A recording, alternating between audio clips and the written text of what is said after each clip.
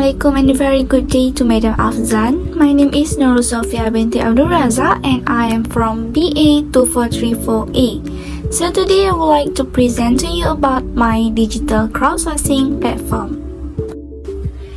What is crowdsourcing? Crowdsourcing is a distribution of well-defined tasks to a large group of anonymous external network user, digital workers, in the form of open call through internet-specific applications, which is platform. So let's moving on to the first one is registration in crowdsourcing platforms. So the first platform that I have registered is the freelancer. There are two types of entries in this platform which are bidding and also contest. I chose this platform because this is the one of the most used and registered platform and luckily I got some jobs in this platform. The next one is Upwork. Upwork is almost similar to Freelancer.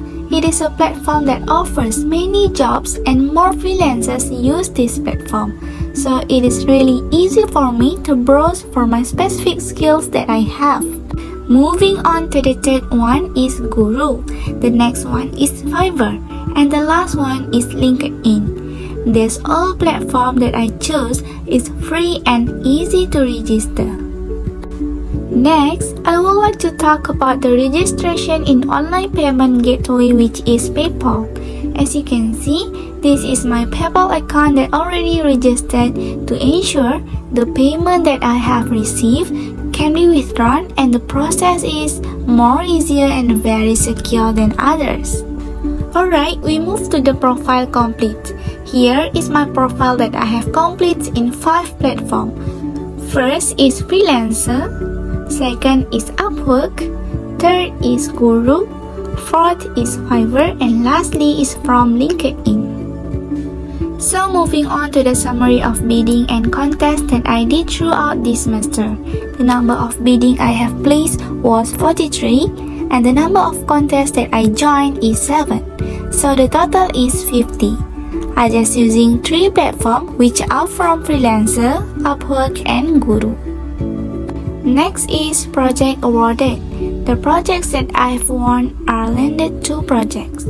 For the first project, it is a simple video greetings in Malay and the second one is short intro video to promote campaign and crowdfunding. I was actually very lucky to get this job because I got the job with the same employer. The employer is a very kind and nice person. For these two projects, he actually gave me a script and told me what I need to do and I start record and send it to him. So this is the proof. The income earned that I got during this semester is $3 from my first project and $35 for my second project. So the total that I've got is $38. If I convert it to Malaysian ringgit, it's about 157 ringgit and 25 cents.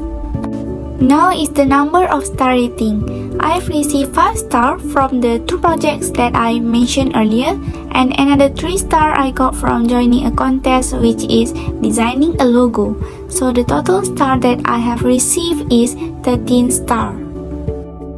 We move to SWOT analysis of myself as a freelancer. Let's look at strength first. The strengths that I have is readiness. I'm always ready to respond message from client and complete the task given. I also having a lot of skills such as logo design, data entry and more. Besides, I'm very committed and passionate person in completing the task given. For my weaknesses, I have lack of experience, so it is not easy for employer to hire me. Next is distraction. This is because I have another commitment towards other subject. Therefore, I can't give my 100% commitment as a freelancer. Time management is also one of my weaknesses.